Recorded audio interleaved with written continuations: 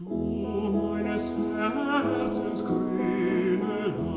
du bist von maultem golden ein ander bedann im zwei volbest du was wir holde die an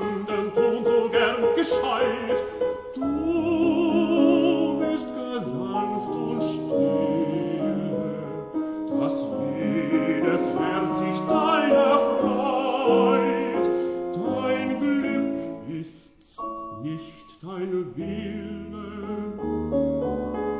Die anderen suchen Lieb und Gunst mit tausend falschen Worten.